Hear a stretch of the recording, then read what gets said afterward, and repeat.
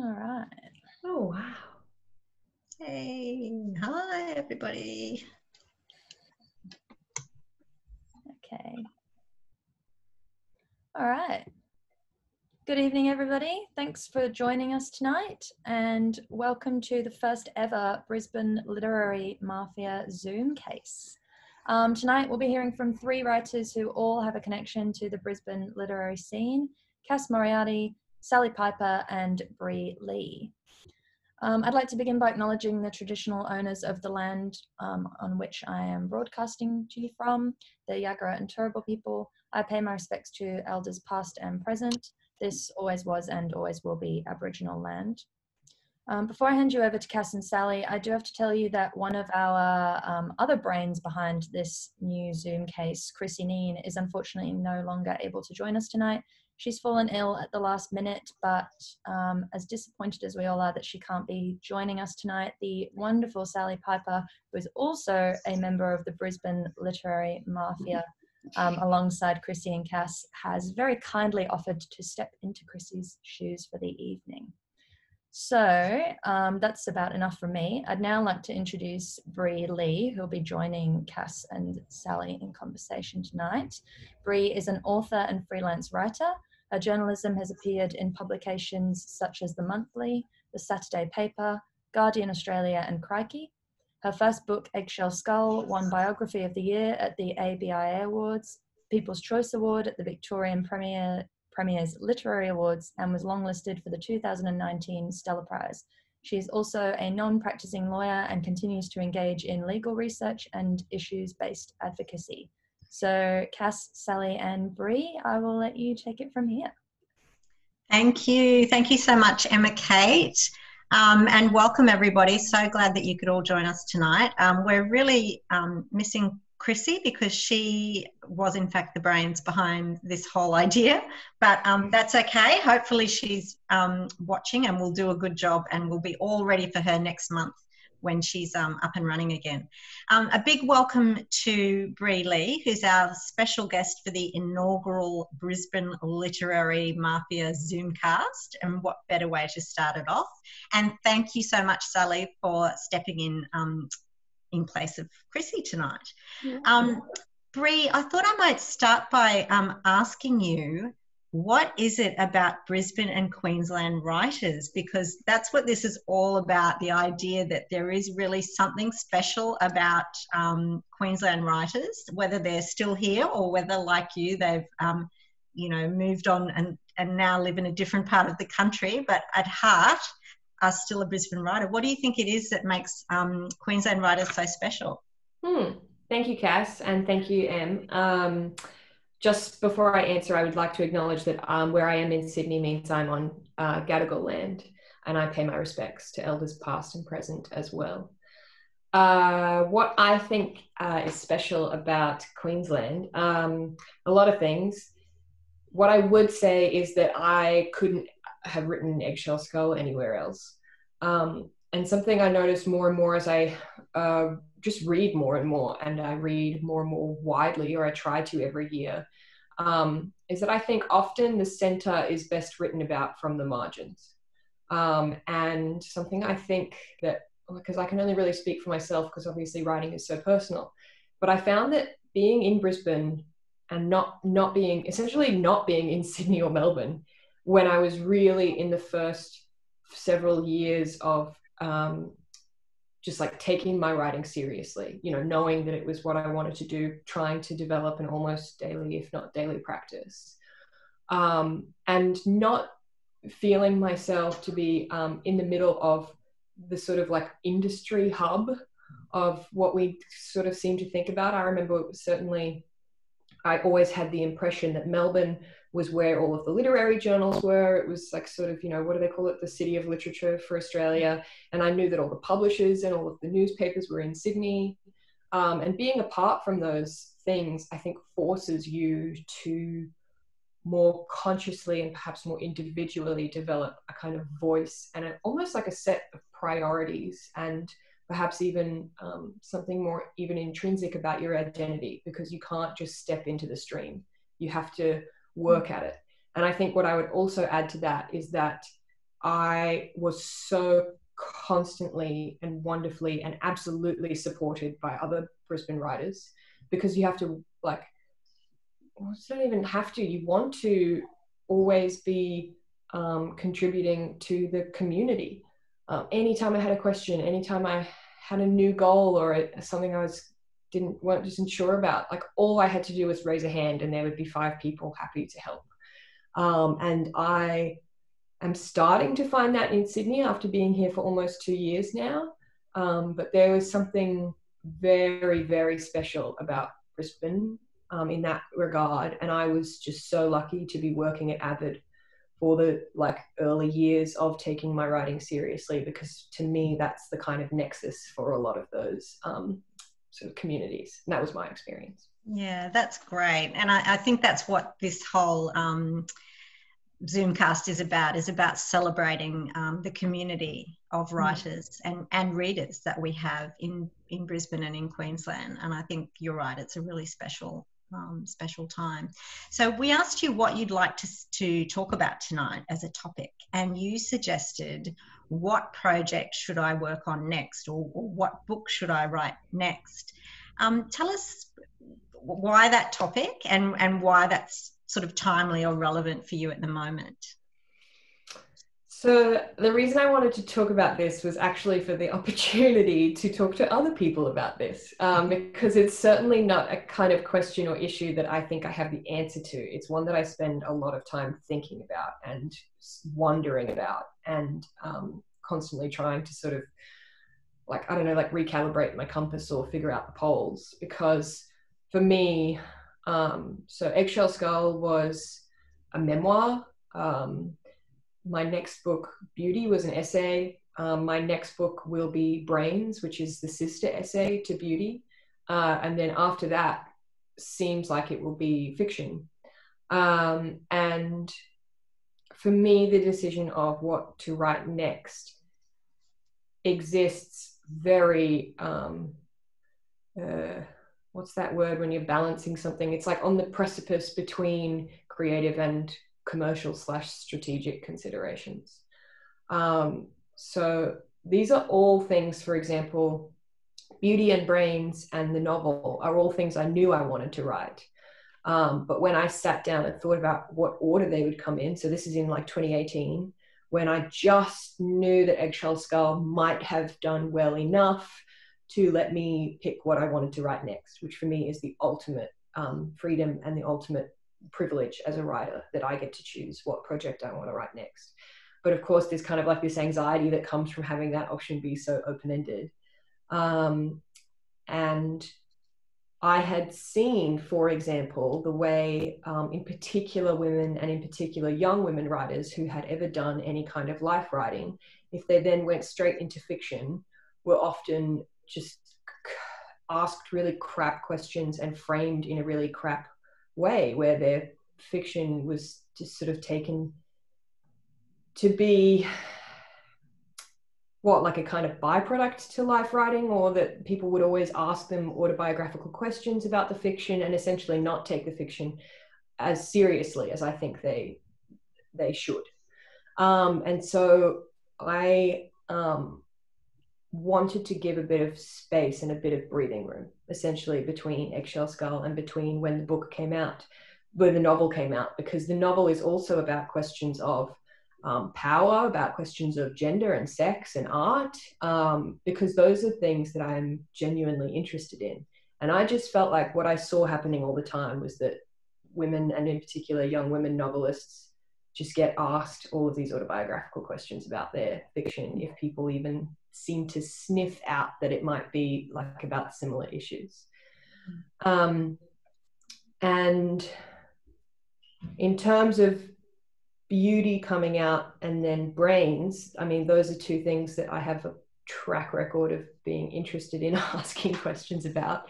Um, and that sort of dichotomy in terms of um, those being the two factors that people um, are sort of overwhelmingly either rewarded or or punished for either having or lacking. Um, and they it's sort of a springboard for much bigger questions around worth and what we think each other are worth. Um, and it just sort of happened quite organically that beauty came out first because um, both the essays have a fair amount of life writing in them.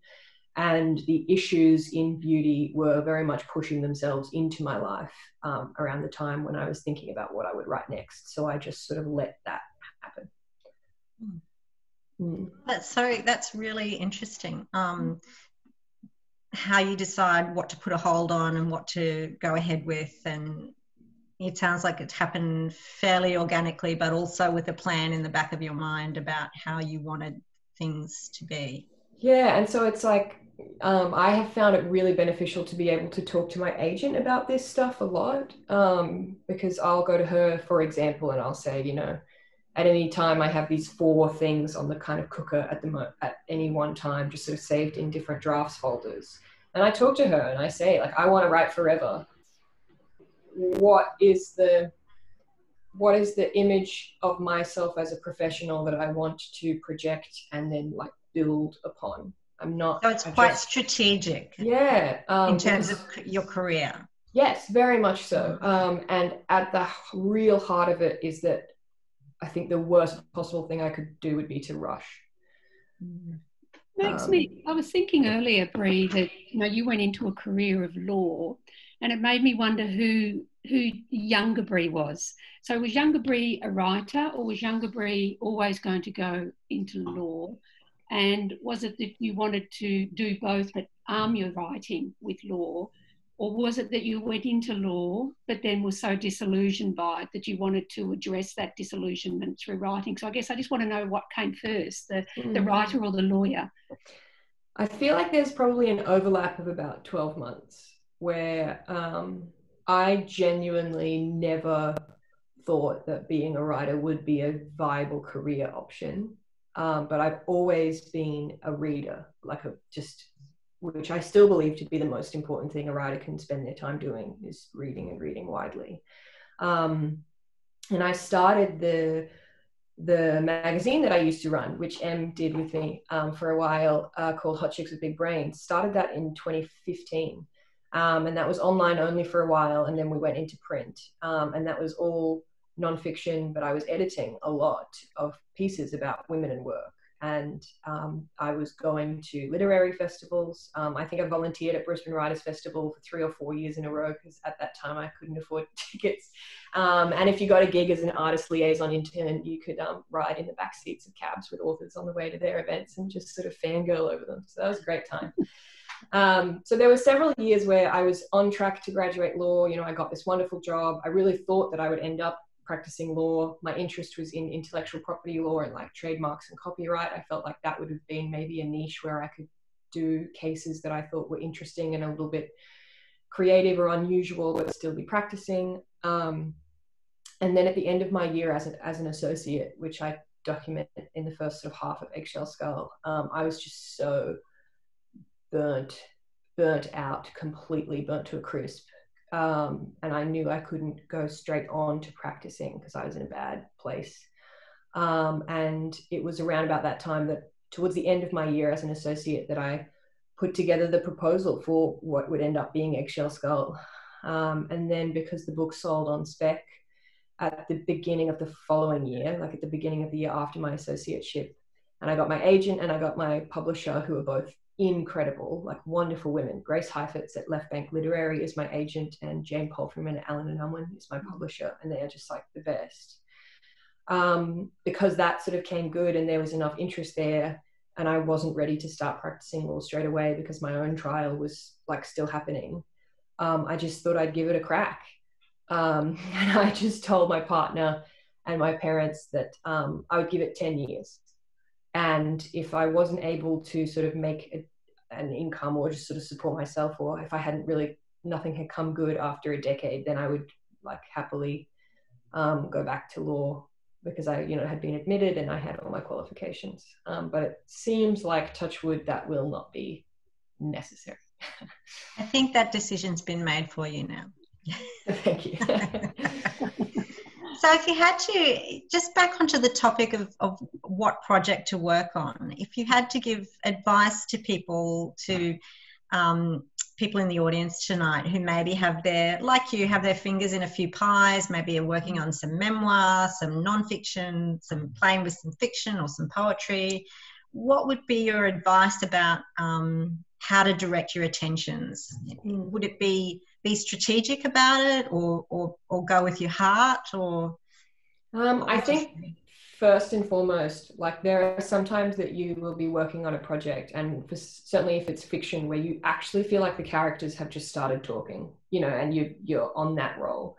Or it could be that you're working on nonfiction and something that you've been researching for a little while excuse me so it's like turns out to then start being in the news because there's been some development. Like you can always feel if for some reason it's like the treadmill has just like pushed itself up by five speed units. Like absolutely first and foremost if you ever feel anything like that i completely i always let that run its course. Um, and i would say though that the strategic approach works for me because I have people who I really trust who are very familiar with the industry to bounce those ideas off. And that is a great privilege. If you have someone like that, um, absolutely offer to buy them a coffee or a beer or actually pay them for their time to pick their brain. Mm. Um, because at the moment, for example, um, you know, a friend of mine had been working on an essay collection for a while, and now is just apparently I didn't know until she said so. That's like a really bad time in the market to try and sell essay collections because of COVID and what publishers mm-hmm. are and aren't willing to take risks on. Like, it also depends if writing is something that you are doing um, in your spare time or if it's something that you are trying to um, make your full time gig. There were certainly tons of freelancing I did that was not quite within the areas that I was like totally passionate about. And it was because I was trying to get a byline at a certain publication or mm. trying to pay my rent. Um, and I think what I would say overall is that um, don't, if you are thinking strategically or if you are thinking about what is relevant to the market or what you need to do to pay your bills, like don't think of that as some kind of cop out or think of that as some kind of mm. like somehow um, what damaging your artistic integrity. Like there's just such an unhelpful mythos around the starving artist and that if you're strategic then you can't be like real or true author or whatever. And the only people that helps are the people who secretly have trust funds um, who don't actually need to try and make their practice sustainable. Um, so yeah do what you need to do and what matches your sort of goals and intentions for your career. That's really great advice. Great mm-hmm. advice. Thank you. Sally, did you? Um, I can't believe this time is going so quickly. Oh my gosh. I know. Yeah. So, Sally, did you have anything else that you'd like to um, ask Bree? I wanted to, um, on the weekend, I finished reading Jess Hill's fantastic book. Mm. It's such a courageous book, See What You Made Me Do and which looks at domestic abuse. And I know this is one of your um, uh, major things that you're interested in too, Bri. And and it, that book highlighted to me, as yours did, the um, just the, the need for law reform around policing and reporting and just the family courts as well. And I I wanted we're looking at these problems arising because of this male dominated profession and now we've got the Dyson Heydon thing going on, of course. Mm. And it made me want to know from your experience, where where do you see us in 10 or 20 years' time? It's such a deeply traditional profession. Could we even see significant change in such a short, really a short space of time for, uh, for a profession that's been around for centuries? Um, I think there is a really there are sort of two separate answers because um, there is a really big difference in the industry between the police and the, the sort of law, actual like legal profession. And that can include both lawyers and like the barristers and the judiciary and the courts. And the police are um, not like obviously these things interact with each other. You know, if we have a terrible definition of consent as we do now, it means the cops are less likely to even investigate properly because they know it's not probably going to even go to trial. And if it did, it wouldn't be successful. Obviously, those things interact with each other. But the culture problems within the Queensland Police Service are so very deep and so very devastating at the moment.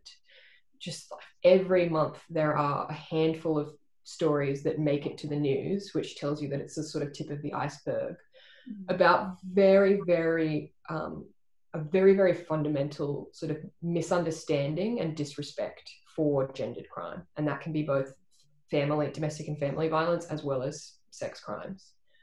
Um, I am somewhat hopeful, um, given that Queensland only very recently got its first woman police commissioner, and that commissioner um, seems to be at least acting so far in a more responsive way from what I've heard with, um, for example, the Minister for Women, Di Farmer. Um, and I mean, I think it does, as we've seen with Dyson Heydon, having a woman at the top does make a difference the pre- previous um, Chief Justice Gleeson knew about Dyson Heydon's conduct and didn't do a damn thing, apparently. Um, and now we have a female Chief Justice. Action, action is, is taking. I think, in terms of the courts and the judiciary, if we get law reform, that would be huge. Um, we have real problems with the Bar Association, that kind of toxic misogyny. The Bar are essentially a group of um, well, they are a group of self employed who are supposed to self regulate and clearly cannot. um, and it would, to answer the actual question 10 or 20 years' time, I think that change will have happened. The question is how slow it will be before it affects the average um, mostly women, but the average person who suffers from any of these issues. Um, it seems like, so in Jess Hill's book, one of the things she talks about that has such an incredible effect is women's only police stations. Um, and it's just so difficult to imagine that getting up in Queensland um, in particular. Um, However, there do seem to be slight increases happening in the police to the specialist um, sexual assault training units, um, but there's still not nearly enough. Like, I think progress is happening. Um, it's just happening much slower than um, we can afford to let it sort of drift along. Mm. Thanks. Thank you. Thank you. Now, Bri, I think that you wanted to finish um, mm. your section with a recommendation or two. Two. Um, so these are actually the events that I have coming up. Uh, one is I can't remember which one's first in time, um, but one is with the State Library of New South Wales, and I'll be talking with the author of A Lonely Girl is a Dangerous Thing, Jessie Tu, um, and that's free to attend. It's on Thursday the 16th. Um, and this is an absolute like cracker of a novel. Um, the protagonist Jenna Chung was is a like violin, you know, like child prodigy virtuoso. Spends her whole young life with her mother and her coach, trainer, whatever teacher, just traveling around the world. She realizes something about her personal life and just like blows that all up and we meet her years later when she's decided to sort of just pick up the violin again. So it's a lot about identity and stuff but it's also a lot about like sexuality and masochism and you know really dark stuff. It has definitely has a dark undercurrent um, and is like just as far as debut fiction goes like bam really good. Um, and the other is for an event I'll be doing at Avid with uh, crowd favorite Kate Grenville. Um, it's her latest fiction, A Room Made of Leaves. Um, and I have not started it yet, um, but it's basically a fictionalization of um, Elizabeth MacArthur, which um, is very, very interesting at a time when we are again asking critical questions about the uh, creation of national identity and history. Um, I'm really looking forward to it. And that's with Avid as well. I'm not sure if it's free or not, but um, all the information is on Avid's website. Em's nodding. I think does that end? You, yeah, it's free. Yay, free. Yeah. I don't even feel bad about spruiking. Like it's all free. Like And I, I think we can oh. assume if it's Kate Grenville, it's probably going to be good. Yes, indeedy. I'll drop the link in the chat box for you all now, actually. Great. Well, Bri, thank you so much for that, um, for those insights into your work and your um, working progress. Um, we're going to move on to a few other recommendations now. You are entirely free to stay or leave as you choose. I'm not sure how busy your life is tonight, but um, really thank you so much for being our very first um, Queensland star on this um, Brisbane Literary Mafia Zoomcast. I think we can all agree that there is something in the water in Queensland that breeds great writers, and Bri, you're a fantastic example of that. So thank you so much for joining us. Oh, thank you very much for having me, and thank you everybody for listening. I'm, I will disappear because the edits are due for my masters. Uh, that is my life at the moment. Um, but thank you very much, everyone, and um, many safe travels and be well. Thanks, Bri. Thanks, Bri. Night night.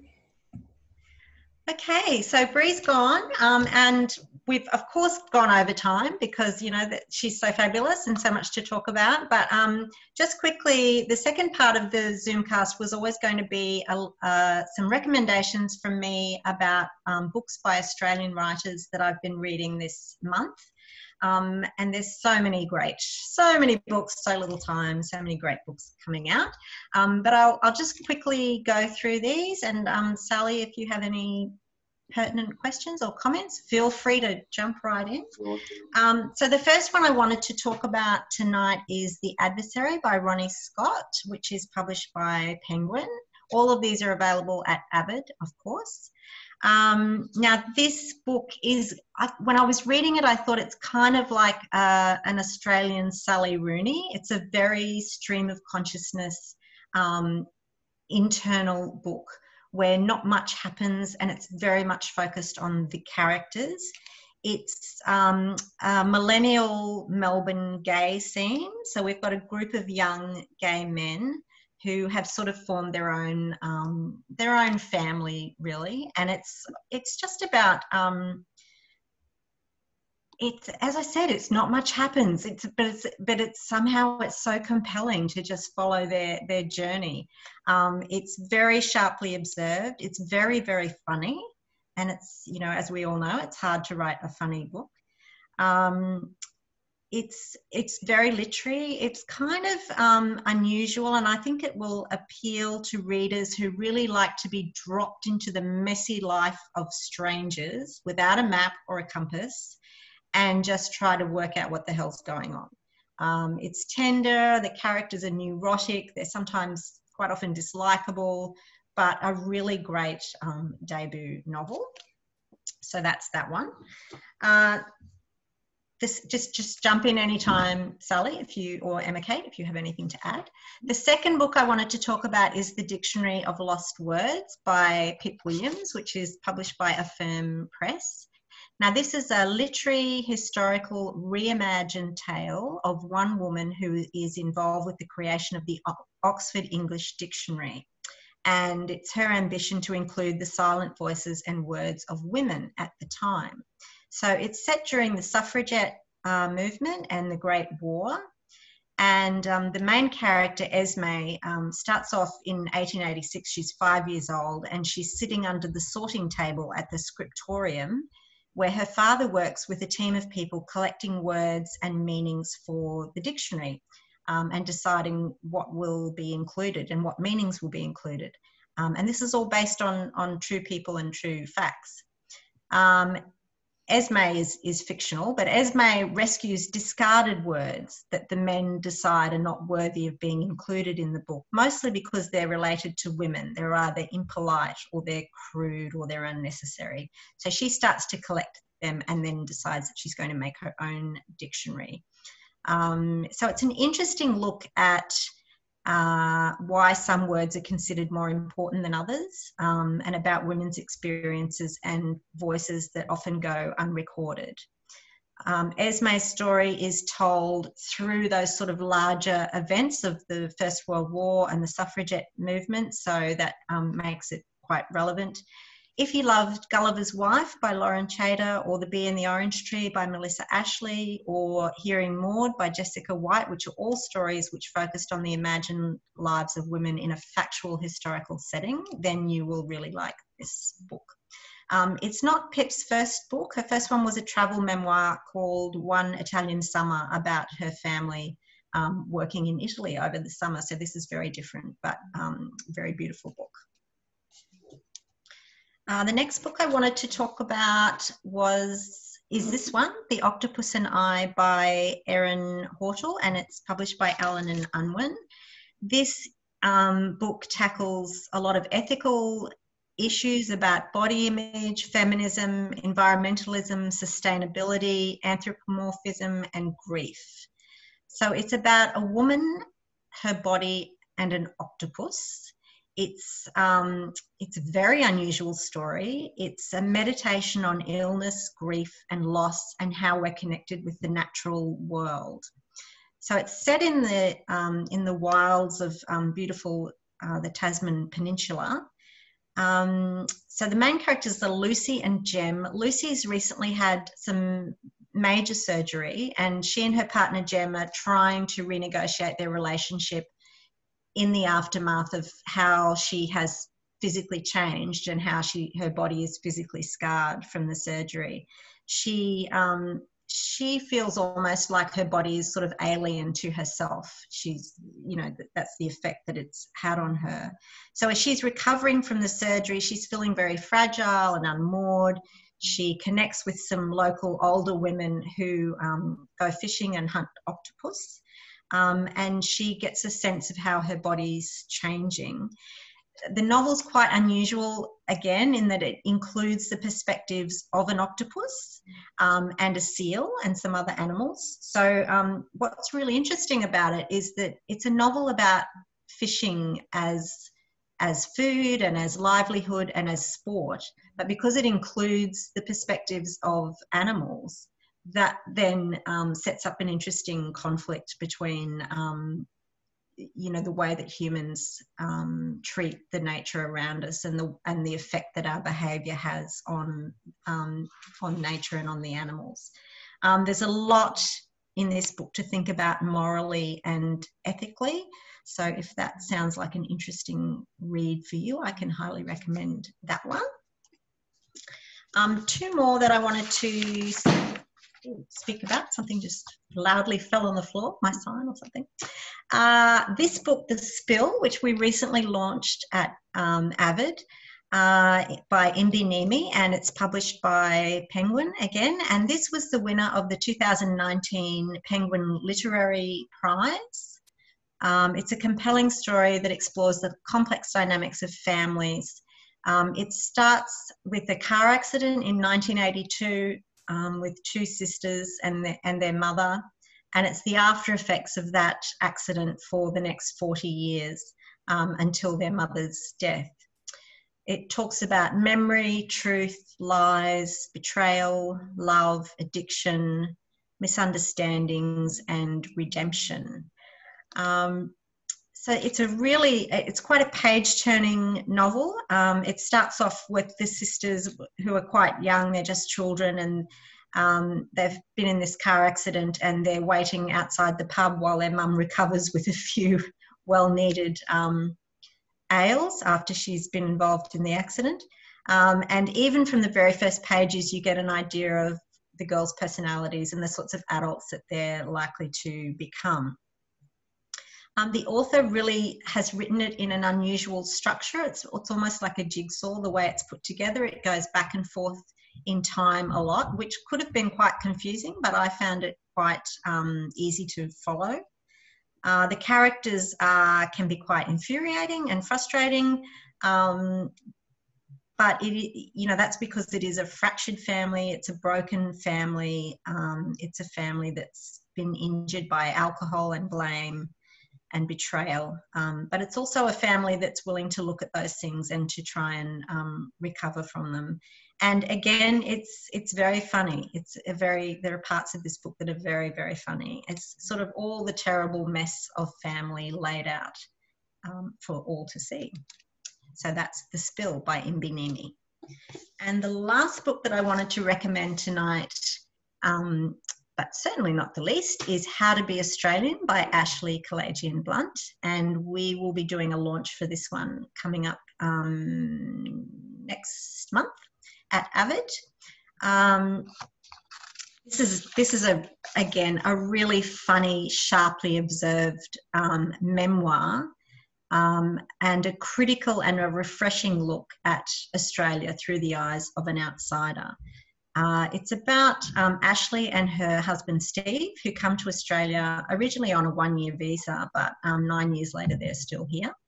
Um, and even though she'd been a seasoned traveller, um, she was living in Winnipeg with ridiculously minus 40 degrees temperatures or something, and she just wanted to go to sunny Australia and, and see if she could make it home. Um, so they decide to come. The first half of the book is a sort of a, a, a, wry summary of misunderstandings and miscommunications. There's there's all of her um, encounters with Australian wildlife, with the cockroaches and the spiders and the crocodiles and the snakes and the uh, you know all of that, which is all quite scary. Um, there's a lot of um, cultural behaviour that is just completely um, bemusing to her. Um, there's people in the middle of Sydney barefoot getting on trams barefoot, which she finds, you know, confounding. Um, the coffee is weird. Um, iced Vovo, iced Vovo biscuits. She has, she thinks has what what looks like elderly people's pubic hair on them. She just there's a lot of things about Australia that she just kind of doesn't understand. The bin chickens. Um, so yeah, the first half is is a lot of that. Um, just get that cultural sort of shock, I guess. The second half gets a little bit more serious. It's about um, how her husband struggles to find work. It's about Ashley struggling with mental illness. Um, as she, um, you know, she's trying to write a book, not this book, but her first book. She's trying to do that. She, they're trying to work. They're trying to support themselves. They're um, they really have torn feelings about whether they've made the right decision in moving to Australia.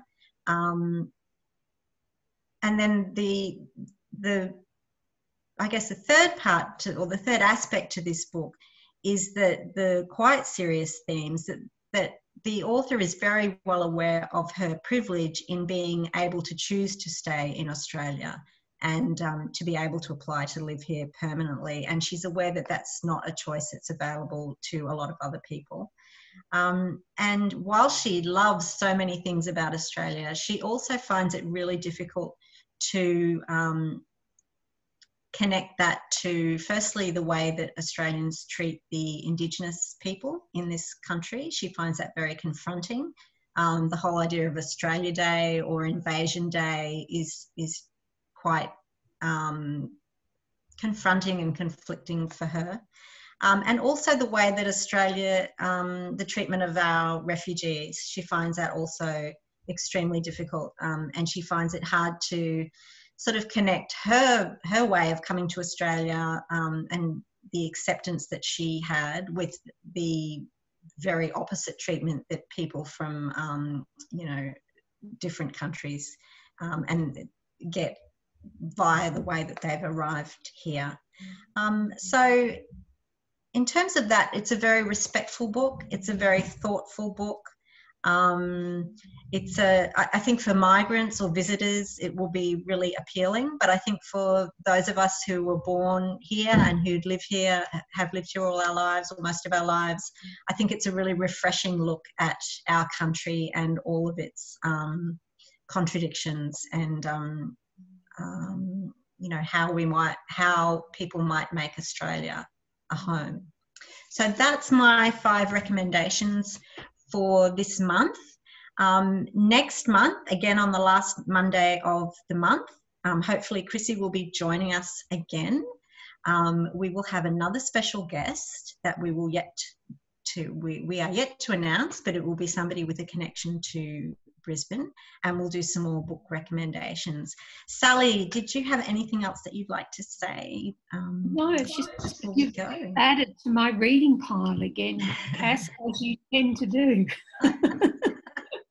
they all sound great books. Thanks for that. Yeah, thank you. Thank you for joining us at the last minute, and thank you, Emma Kate, for hosting. Um, thank you for a wonderful discussion. Bri, yeah, I think Bri's dropped off, but thank you, Bri. I think Bri's yeah, Bri's gone as well, so she'll be with us next month, as you say. Yeah, and I, we didn't even talk about if we were planning to do questions, but I'm assuming that we're not because we're already, we said it was seven and we're already Yeah. at quarter past. So, um, um, but um, everybody feel free if you do have questions to maybe email them in or, or get on to Avid's Facebook or Twitter and put it on there and we'll see if we can answer them at the, maybe at the next um, Brisbane Literary Mafia Zoom session. Sounds brilliant. Thank you all for joining us this evening. Thanks again, Cass. Thank you, Sally. Thanks, Um, I'll unmute you all so that we can say thank you now. Um, and um, I've posted all of the links if you haven't already opened up the chat box to each of the books that Cass has recommended and also to Bri's event um, with Kate Grenville and to um, Ashley's event, which is coming up shortly. So thanks again for joining us. You're all coming off mute now, so please join me in thanking Cass and Sally. Eight. I'm going to switch so I can see everybody. Yay! Thank you. Thank Thank you, everybody, for joining us. Andy. Thanks, guys. Bye. Oh, it's so great to see so many wonderful, familiar faces. People Thanks in bed. everybody. Have a lovely night. Great. Thank you. Bye. Bye. Thanks, guys. Bye.